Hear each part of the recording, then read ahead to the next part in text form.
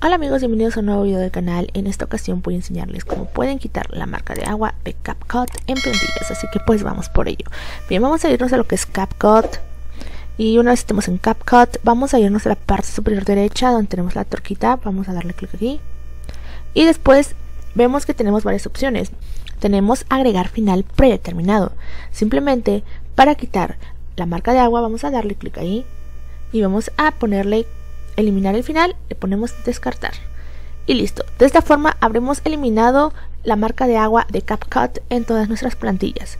Simplemente vamos a ir a cualquier video y vamos a ver que al final ya no aparece. ¿Lo ven? Y bueno chicos, pues espero les haya ayudado este pequeño video. Si necesitan ayuda pueden dejarlo aquí en los comentarios. Y ya saben, si quieren más videos como este, síganos en nuestra cuenta de YouTube.